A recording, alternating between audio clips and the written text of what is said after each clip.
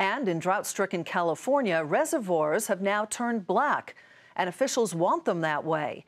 Black plastic balls are covering water sources in the Los Angeles area as a way to preserve that precious resource. Jane Wells has our story tonight. Three, two, one, shade balls away! California's epic drought, no idea is too crazy. Not even releasing into LA reservoirs plastic balls you might find in the McDonald's play area. We started putting shade balls on here about two and a half years ago. This week, the LA Department of Water and Power released the last of 96 million so called shade balls on top of open reservoirs.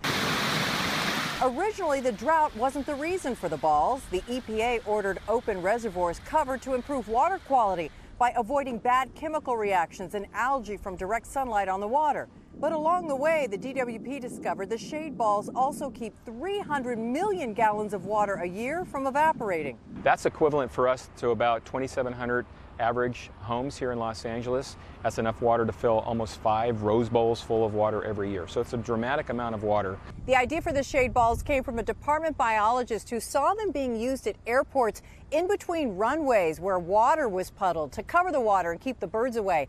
And it's a lot cheaper than the original idea for this reservoir to buy the world's largest pool cover, which would have cost hundreds of millions of dollars and would have required the building of a temporary reservoir while this one was fitted. This idea is almost 90% cheaper.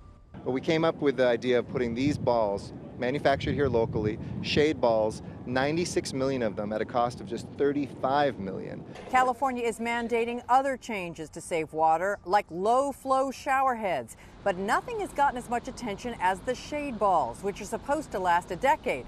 Will the rains return by then? Maybe sooner. El Nino is coming, and new images from NASA show the warming Pacific in red and white ahead of the drenching El Nino of 1997. So strong, they're giving this new one a nickname Godzilla. For Nightly Business Report, Jane Wells, Los Angeles.